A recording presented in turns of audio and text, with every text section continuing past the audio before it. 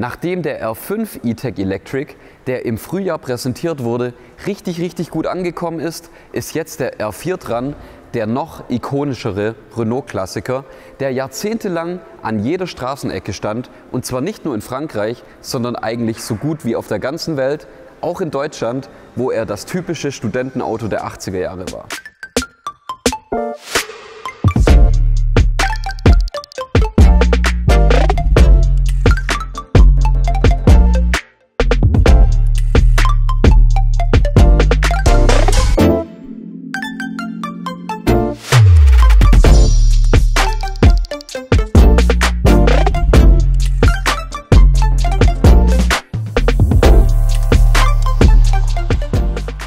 Hallo und herzlich willkommen auf dem YouTube-Kanal von mobile.de. Ich bin Elias und stelle euch heute den neuen Renault 4 E-Tech Electric vor. Der große Bruder des R5 steht auch auf der Konzernplattform Ampere Small er ist aber kein klassischer Kleinwagen, sondern wird eher als Crossover SUV klassifiziert. Eigentlich bin ich ja wirklich kein SUV- und Crossover-Fan und ich finde es auch ein bisschen blöd, dass alles jetzt in die Richtung getrimmt wird.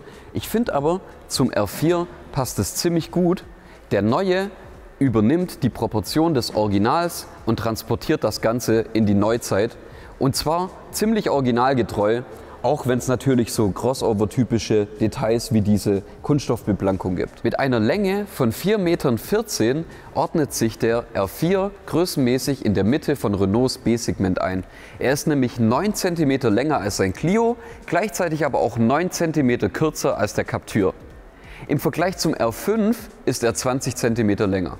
Der Elektro R4 ist 1,80 Meter breit und 1,57 Meter hoch er ist also genau gleich hoch wie ein Captur, obwohl er 1,2 cm mehr Bodenfreiheit hat. Ich finde, das Ganze steht dem Auto echt gut und es passt auch ganz gut, weil auch der Ur-R4 ziemlich hochbeinig dastand und lange Federwege hatte. Die Front ist designmäßig auf jeden Fall das Highlight und man sieht direkt, welches Auto hier Modell gestanden hat. Besonders stolz ist Renault auf diesen Grill mit den Scheinwerfern hinter Glas das erinnert mich sogar so ein bisschen an den Alpine A310 und Citroën SM war damals in den 70ern voll im Trend. Das ist scheinbar der größte in einem Stück gefertigte und beleuchtete Grill überhaupt. Der ist ganze 1,45 Meter breit. Im Profil haben die Designer dem R4 diese drei Kerben ins Blech gestanzt und diese sollen an die Kunststoffbeblankung des späten Facelift R4 des R4 GTL erinnern. Typisch für den Ur-R4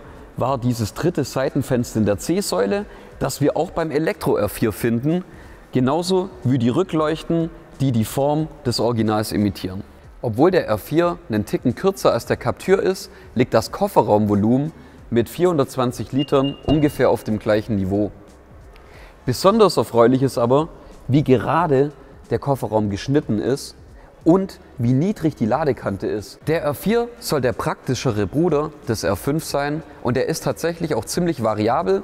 Die Heckklappe kann zweigeteilt umgeklappt werden, genauso wie der Beifahrersitz. Das hat er allen anderen Elektro-Renault voraus und so kann man auch mal ein kleines Schränkchen reinladen. Mein absolutes Highlight beim neuen R4 ist das optionale Faltdach eine typische Renault-Spezialität, die es nicht nur beim Ur-R4, sondern auch zum Beispiel beim R17 oder beim ersten Twingo gab. Das Dach wurde zusammen mit Webasto entwickelt und hat eine besonders große Öffnung. So macht das im Sommer wirklich Spaß. Es öffnet sich voll elektrisch und in drei Stufen. Renault verspricht, dass es akustisch, aber keine Nachteile gegenüber des normalen R4 mit Stahldach geben soll.